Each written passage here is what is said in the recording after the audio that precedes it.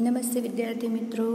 આજે આપણે નામામાં ચોથા ચેપ્ટરનું ઉદાહરણ નંબર છ કરીએ છીએ. જો આપણે ત્યાગના દાખલા પૂર્યા કર્યા અને લાભ શરૂ થયું, બરાબર છે ને? તો લાભમાં શું આવે છે? નવો ભાગ માઇનસ જૂનો ભાગ.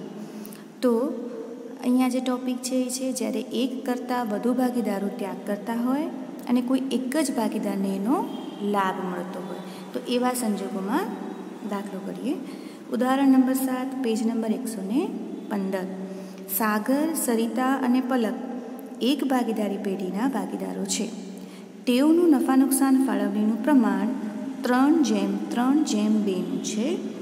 બધા જ ભાગીદારોએ તેમના નફા નુકસાનની ફાળવણીનું પ્રમાણ બદલીને એક જેમ એક જેમ એક કરવાનું નક્કી કર્યું છે. ભાગીદારોને મળેલ લાભ અને તેમણે કરેલ ત્યાગની ગણતરી કરો. તો જો, હવે અહીંયા છે ને, દર વખતની જેમ સ્ટેપ વન સ્ટેપ ટુ આપણે કરશું સ્ટેપ વન બોક્સ બનાવશું સ્ટેપ ટુ લાભનું સૂત્ર લખશું. તો સ્ટેપ વનમાં પહેલી કોલમ બરાબર બોક્સની જૂનું પ્રમાણ, જૂનો ભાગ, નવું પ્રમાણ, નવો ભાગ. ભાગીદારોના નામ લખી નાખીએ, સાગર, સરિતા પલક અને આવે છે કુલ. હવે સાગરનું પ્રમાણ કેટલું છે? જૂનું જુઓ તો બધા જ પહેલી લાઇનમાં આપેલું છે, હં, ત્રણ જેમ ત્રણ જેમ બે. તો કુલ કેટલા થાય? ત્રણ ત્રણ, છ છ ને બે, આઠ. જૂના પ્રમાણ ઉપરથી આપણને મળશે જૂનો ભાગ. ત્રણ અષ્ટમાંશ ત્રણ અષ્ટમાંશ અને બે અષ્ટમાંશ હવે જોઈએ નવું પ્રમાણ. નવું પ્રમાણ શું છે?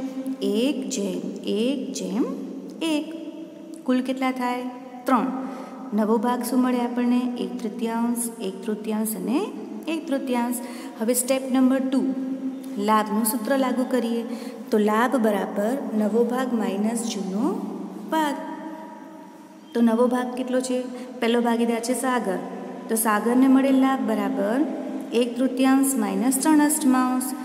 અહીંયા આપણે શું કરીએ છીએ? ગણિતના નિયમ મુજબ છેદ સરખા કરશું અને પછી બાદ બાકી કરશું. તો આઠ માઇનસ નવ ભાગ્યા ચોવીસ.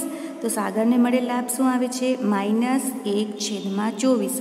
જો હવે તમે ધ્યાન રાખો, જ્યારે પણ તમે લાભ શોધતા હો અને નિશાની માઇનસ આવે, તો એને શું કહેવાય છે? ત્યાગ. સિમ્પલ. હવે બીજો ભાગીદાર સરિતા. તો સરિતાને મળેલ લાભ બરાબર એનો નવો ભાગ કેટલો છે? એક તૃતીયાંશ અને જૂનો કેટલો છે? ત્રણ અષ્ટમાંશ. ફરી આપણે શું કરશું? લસા લેશું અને બાદ બાકી કરશું. એટલે આઠ માઇનસ નવ ભાગ્યા ચોવીસ. તો સરિતાને પણ માઇનસ એકના છેદમાં ચોવીસ આવે છે. એટલે સરિતાનો પણ અહીંયા શું આવે છે? ત્યાગ. અહીંયા બે ભાગીદારનો શું આવ્યો? તાગ. હવે ત્રીજો ભાગીદાર જોઈએ પલક. તો પલકને મળેલા બરાબર એક તૃતીયાંશ માઇનસ બેના છેદમાં આઠ. ફરી લસા કાઢીએ તો ચોવીસ આવશે લસા.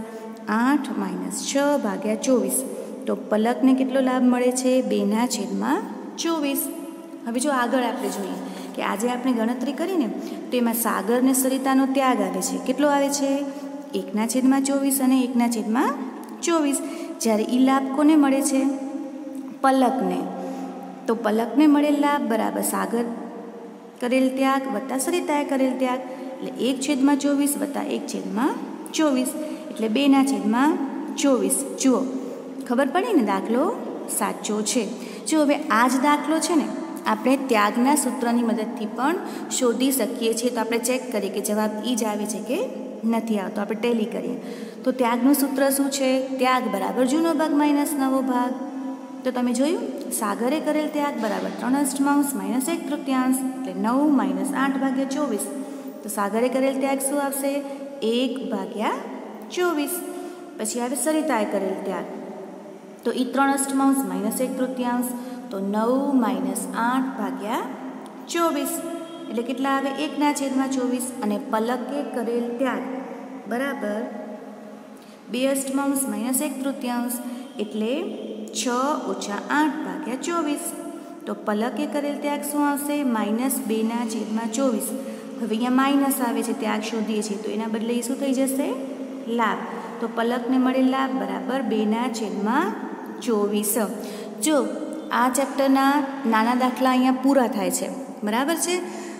હવે એક વસ્તુ આમાં ક્લિયર થઈ ગઈ. શું ખબર છે? જો જ્યારે આપણે ત્યાગ ગણતા હોઈએ ને, તો એનો જવાબ જો પ્લસમાં આવે તો એને ત્યાગ જ કહેવાય. પણ જો માઇનસમાં આવે તો એને શું કહેવાય? હં, શું કહેવાય? લાભ. એવી જ રીતે જ્યારે આપણે લાભ ગણતા હોઈએ અને એનો જવાબ શું આવે? પ્લસમાં આવે તો એને લાભ જ કહેવાય. પણ જો માઇનસમાં આવે, તો એને શું કહેવાય? ત્યાગ. બરાબર છે? હવે, આના જેવો એક દાખલો ચોપડીનો દાખલા નંબર નવ. બધા જ ગણશે અને પેજ નંબર એકસો સત્તર ઉપર જે તફાવત આપેલો છે એટલે એકવાર જોઈ લેજો. ત્યાગનું પ્રમાણ અને લાભનું પ્રમાણ. એનો જે તફાવત છે, એ એક વખત બુકમાં લખવાનો છે અને યાદ રાખજો, આ એક્ઝામમાં પૂછાય છે થિયરી બરાબર છે? Thank you